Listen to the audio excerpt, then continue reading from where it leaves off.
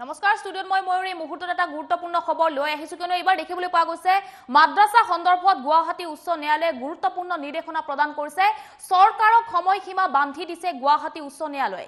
এই মুহূৰ্তত সেই খবৰ জনাই আছো কিয়নো মাদ্ৰাছা বন্ধক লৈ মাদ্ৰাছা বন্ধ ইতিমধ্যে বন্ধ কৰাৰ নিৰ্দেশ প্ৰদান কৰিছিল চৰকাৰৰ তৰফৰ পৰা। আৰু মাদ্ৰাছা বন্ধ কৰাৰ সন্দৰ্ভত গুৱাহাটী উচ্চ ন্যায়ালয়ৰ বিশেষ নিৰ্দেশনা। দুসপ্তাহৰ ভিতৰত চৰকাৰক শপতনামা দাখিলৰ নিৰ্দেশ প্ৰদান কৰিছে গুৱাহাটী উচ্চ ন্যায়ালয়ে। আৰু বাৰজনীয়া দলে লেখ আবেদন কৰিছিল গুৱাহাটী উচ্চ ন্যায়ালয়ত। মাদ্ৰাছা সন্দৰ্ভত বাৰজনীয়া দলে লেখ আবেদন কৰিছিল গুৱাহাটী উচ্চ ন্যায়ালয়ত। এই সন্দৰ্ভতে শুনানি প্ৰদান কৰিছে। মাদ্ৰাছা বন্ধ সন্দৰ্ভত দাখিল কৰিছিল আবেদন। আৰু সেই আবেদনৰ শুনানি প্ৰদান কৰিছে গুৱাহাটী উচ্চ ন্যায়ালয়ে। শপতনামা দাখিলৰ বাবে সময় ৰাজ্য চৰকাৰক চৈধ্য দিনৰ। অৰ্থাৎ চৈধ্য দিনৰ সময়সীমা বান্ধি দিছে গুৱাহাটী উচ্চ ন্যায় উচ্চ ন্যায়ালয়ে। শপতনামা দাখিল কৰিবলৈ ৰাজ্য চৰকাৰক আঠ জুলাইলৈ সময়সীমা বান্ধি দিছে ন্যায়ালয়ে। ষোল্ল জুলাইত হ'ব পৰৱৰ্তী শুনানি। মাদ্ৰাছা সন্দৰ্ভত পৰৱৰ্তী শুনানি হ'ব ষোল্ল জুলাইত। উচ্চ ন্যায়ালয়ৰ জ্যেষ্ঠ অধিবক্তা এ আৰ ভূঞাৰ ভূঞাৰ এই বিষয়ে মন্তব্য প্ৰদান কৰিছে। অৰ্থাৎ এ আৰ ভূঞাই এই বিষয়ে মন্তব্য প্ৰদান কৰিছে উচ্চ ন্যায়ালয়ৰ জ্যেষ্ঠ অধিবক্তা। আৰু যিহেতু চৰকাৰে মাদ্ৰাছা বন্ধ কৰাৰ নিৰ্দেশ প্ৰদান কৰিছিল চৰকাৰী মাদ্ৰাছাসমূহ বন্ধ ঘোষণা কৰা হৈছিল। ইয়াৰ পিছতে দেখিবলৈ পোৱা গৈছে মাদ্ৰাছা সন্দৰ্ভত উচ্চ ন্যায়ালয়ে বিশেষ নিৰ্দেশনা প্ৰদান কৰিছে গুৱাহাটী উচ্চ ন্যায়ালয়ে নিৰ্দেশনা প্ৰদান কৰিছে। দুসপ্তাহৰ ভিতৰত চৰকাৰক শপতনামা দাখিলৰ নিৰ্দেশ প্ৰদান কৰিছে গুৱাহাটী উচ্চ ন্যায়ালয়ে। বাৰজনীয়া দলে লেখ আবেদন কৰিছিল গুৱাহাটী উচ্চ ন্যায়ালয়ত আৰু মাদ্ৰাছা বন্ধ সন্দৰ্ভত আবেদন দাখিল কৰিছিল বাৰজনীয়া দলে। আৰু এই আবেদনৰ ভিত্তিতেই শুনানি প্ৰদান কৰিছে গুৱাহাটী উচ্চ ন্যায়ালয়ে। শপতনামা দাখিলৰ বাবে সময় দিছে ৰাজ্য চৰকাৰক। চৈধ্য দিনৰ সময়সীমা বান্ধি দিছে ন্যায়ালয়ে। শপতনামা দাখিল কৰিবলৈ ৰাজ্য চৰকাৰক আঠ জুলাইলৈ সময়সীমা বান্ধি দিছে। আৰু জানিব পৰা মতে পৰৱৰ্তী শুনানি হ'ব ষোল্ল জুলাই।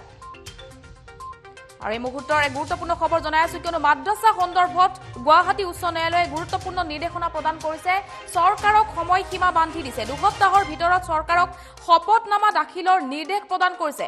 অৰ্থাৎ দুসপ্তাহৰ ভিতৰত মাদ্ৰাছা সন্দৰ্ভত শপতনামা দাখিল কৰিব লাগিব ৰাজ্য চৰকাৰে। কিয়নো ৰাজ্য চৰকাৰে যিহেতু মাদ্ৰাছা বন্ধক লৈ গুৰুত্বপূৰ্ণ সিদ্ধান্ত গ্ৰহণ কৰিছিল চৰকাৰী মাদ্ৰাছাসমূহ বিলুপ্ত কৰা হৈছিল। আৰু এই সন্দৰ্ভতে এইবাৰ গুৱাহাটী উচ্চ ন্যায়ালয়ে শুনানি গ্ৰহণ কৰিছে। কিয়নো বাৰজনীয়া দলে লেখ আবেদন কৰিছিল। গুৱাহাটী উচ্চ ন্যায়ালয়ত এই সন্দৰ্ভত লেখ আবেদন কৰিছিল। সেই আবেদনৰ ভিত্তিতেই শুনানি গ্ৰহণ কৰিছে শুনানি প্ৰদান কৰিছে গুৱাহাটী উচ্চ ন্যায়ালয়ে। আৰু ষোল্ল জুলাইত হ'ব এই সন্দৰ্ভত ষোল্ল জুলাইত পৰৱৰ্তী শুনানি হ'ব বুলি জানিব পৰা গৈছে। ইতিমধ্যে ৰাজ্য চৰকাৰক চৈধ্য দিনৰ সময়সীমা বান্ধি দিছে গুৱাহাটী উচ্চ ন্যায়ালয়ে। আৰু এই সন্দৰ্ভত আমাৰ হাতত মন্তব্য আছে। সেই মন্তব্য আগবঢ়াইছো।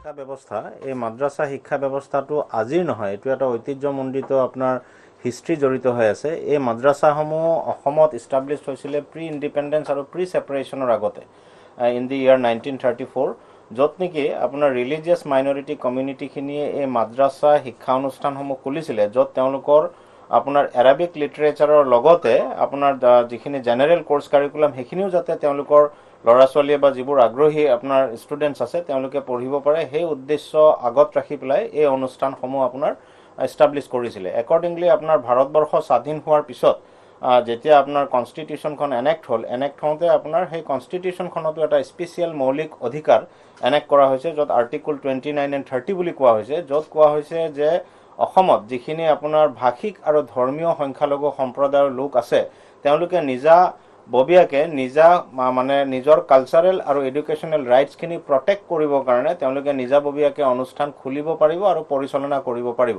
আৰু সেই মৌলিক অধিকাৰৰ লগত সংগতি ৰাখিয়েই এই মাদ্ৰাছা শিক্ষা ব্যৱস্থাটো অসমত আপোনাৰ ইমান দিনৰ পৰা নাইনটিন থাৰ্টি ফ'ৰৰ পৰা আজিলৈকে টু থাউজেণ্ড টুৱেণ্টি ওৱানলৈকে চলি আছিলে আৰু বিভিন্ন অনুষ্ঠানসমূহ আপোনাৰ মাদ্ৰাছা শিক্ষা ব্যৱস্থা গোটেই অসমত আপোনাৰ চলিছিলে আৰু যাক নেকি অসমৰ ৰাজ্য চৰকাৰে স্বীকৃতিও দিছিলে আৰু প্ৰ- প্ৰ- প্ৰদেশীকৃতও কৰিছিলে আপোনাৰ প্ৰভিন্সিয়েলাইজো কৰিছিলে।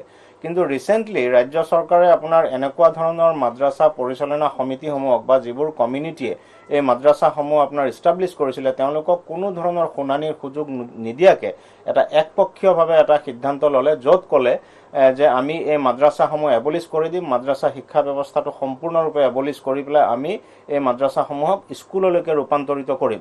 একৰ্ডিংলি তেওঁলোকে আপোনাৰ এখন আইন প্ৰণয়ন কৰিলে যিখন আইনক কোৱা হ'ল যে the Assam repealing act twenty twenty.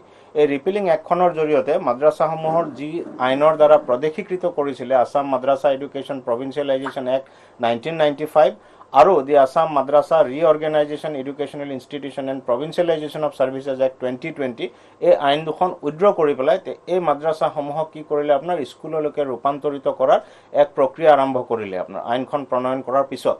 তাৰপিছত আপোনাৰ যেতিয়া এই ৰূপান্তৰিত হ'ল তেতিয়া গোটেই অসমত আপোনাৰ মাদ্ৰাছা শিক্ষা ব্যৱস্থাৰ লগত জড়িত যিবোৰ মেনেজিং কমিটি হওক বা যিবোৰ ষ্টুডেণ্টছ হওক তেওঁলোকে আপোনাৰ হতভম্ব হৈ গ'ল আৰু তেওঁলোকৰ ভৱিষ্যত অন্ধকাৰ দেখি তেওঁলোকে উপায়বিহীন হৈ পেলাই মাননীয় গুৱাহাটী উচ্চ ন্যায়ালয়ত এখন লেখ আবেদন দাখিল কৰিলে।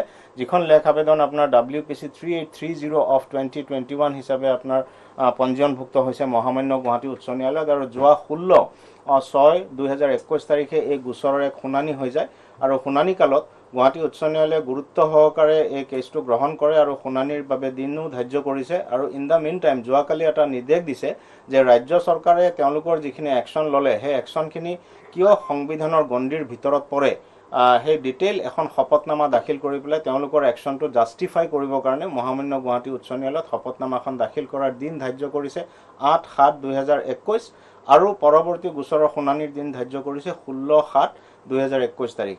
হয় এই কেছটো কৰিছে আপোনাৰ ইয়াতে Imaduddin Borbhuyan and twelve others বুলি। মানে গোটেই এওঁলোক আপোনাৰ এনেকুৱা ধৰণৰ পিটিশ্যনাৰ্ছ হয় প্ৰাৰ্থীয়ে যিয়ে নেকি মাদ্ৰাছাসমূহ ইষ্টাব্লিছ কৰিছিলে যে আমি মাদ্ৰাছাহে খুলিম বুলি ইষ্টাব্লিছ কৰিছিলে আৰু আপোনাৰ ইয়াৰ লগত মাদ্ৰাছাসমূহৰ কিছুমান মেনেজিং কমিটি পৰিচালনা সমিতিও জড়িত হৈ আছে। আপোনাৰ দুটা গ্ৰুপ লগ লাগি পেলাই এই তেওঁলোকে মহামান্য ন্যায়ালয়ৰ দ্বাৰস্থ হৈছে।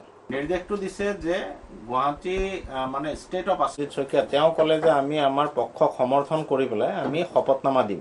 তেতিয়া কোৰ্টে যোৱাকালি আইনখন লৈ পেলাই মানে অলপ অসন্তুষ্ট হৈছিলে। তেতিয়া কোৰ্টে কৈছে যে ঠিক আছে আপোনালোকে শপতনামাখন দিয়ক আমি পুনৰ বিবেচনা কৰিম যে আইনখন বৈধ নে অবৈধ। কিন্তু কোৰ্টৰ যিটো ইণ্টেনশ্যন আইনখন হয়তো নি- নীতিকিব পাৰে তেওঁ তেনেকুৱা ধৰণৰ এটা লাইনত গৈ আছে বস্তু। কালি কোনো ধৰণৰ আপোনাৰ ডাইৰেকশ্যন ইছ্যু কৰা নাই। খালি গভমেণ্টক সময় দিছে যে আপোনালোকে শপতনামাখন দাখিল কৰি পেলাই কেছটো এডমিট কৰিছে যোৱাকালি। এডমিশ্যন ফৰ হিয়াৰিং বুলি কয়তো। আৰু এনেকুৱা চিৰিয়াছ ইছ্যু এটা ডেটতো আৰু সম্ভৱ নহয়। গতিকে গভমেণ্টক শপতনামাখন দাখিল কৰিবৰ কাৰণে আঠ সাত দুহেজাৰ একৈছ তাৰিখলৈকে সময়সীমা বান্ধি দিছে। গতিকে শপতনামাখন অহাৰ পিছতহে মানে গোচৰটো আকৌ শুনানি হ'ব ষোল্ল সাতত। গতিকে আপোনালোকে ফ'ল' আপ কৰিব পাৰিব পিছত। আৰু আপোনালোকে উচ্চ ন্যায়ালয়ৰ জ্যেষ্ঠ অধিবক্তাৰ মন্তব্য শুনিলে।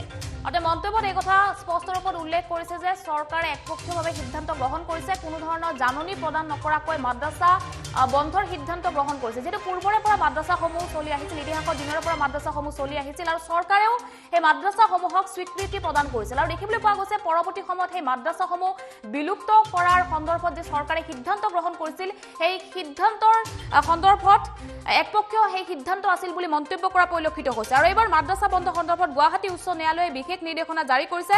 দুসপ্তাহৰ দুসপ্তাহৰ ভিতৰত চৰকাৰক শপতনামা দাখিলৰ নিৰ্দেশ প্ৰদান কৰিছে। বাৰজনীয়া দলে যিহেতু লেখ আবেদন কৰিছিল গুৱাহাটী উচ্চ ন্যায়ালয়ত। মাদ্ৰাছা বন্ধ সন্দৰ্ভত দাখিল কৰিছিল আবেদন। শপতনামা দাখিলৰ বাবে ইতিমধ্যেই সময় বান্ধি দিয়া হৈছে ৰাজ্য চৰকাৰক। চৈধ্য দিনৰ সময়সীমা বান্ধি দিয়া হৈছে। শপতনামা দাখিল কৰিবলৈ ৰাজ্য চৰকাৰক আঠ জুলাইলৈ সময়সীমা দিয়া হৈছে আৰু ইয়াৰ পৰৱৰ্তী শুনানি হ'ব ষোল্ল জুলাই।